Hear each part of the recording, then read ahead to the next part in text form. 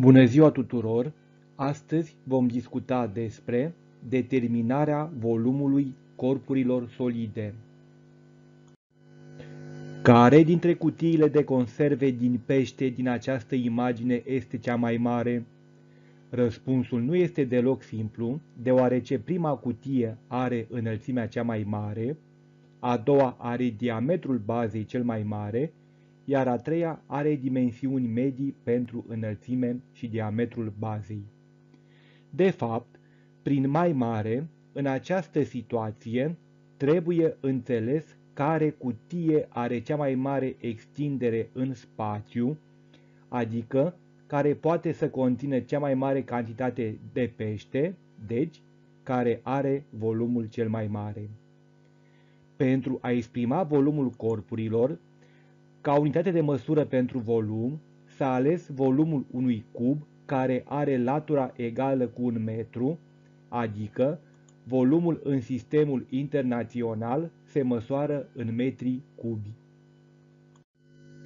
Determinarea volumului corpurilor solide cu formă geometrică regulată se face prin măsurarea dimensiunilor și utilizarea formulelor matematice de calcul așa cum puteți vedea în aceste exemple.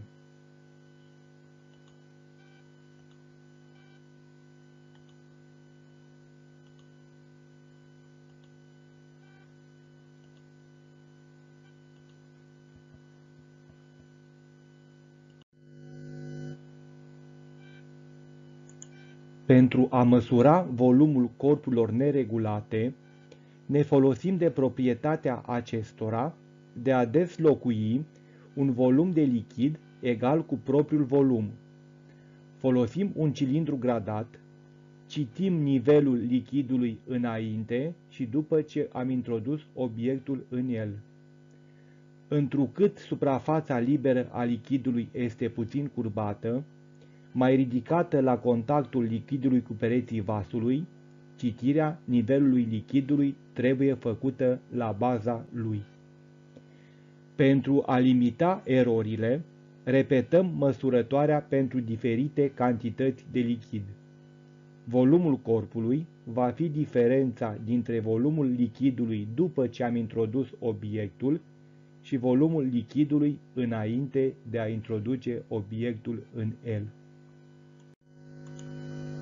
Pentru a măsura volumul obiectelor care nu încap într-un cilindru gradat, Folosim un vas care are în partea superioară un orificiu prin care apa se poate scurge într-un cilindru gradat. Umplem cu apă vasul până la baza orificiului, apoi aruncăm surplusul de apă.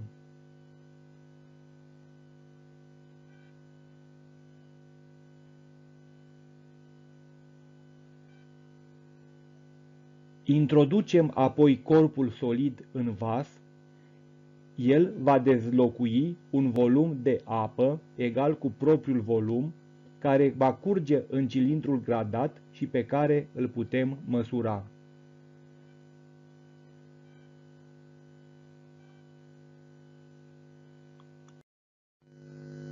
Pe baza celor prezentate, măsurați volumul unui con, prima dată măsurându-i dimensiunile și utilizând formulele matematice, pentru calculul volumului conului, apoi introducându-l într-un cilindru gradat și folosindu-ne de proprietatea lui de a dezlocui un volum de lichid egal cu propriul volum.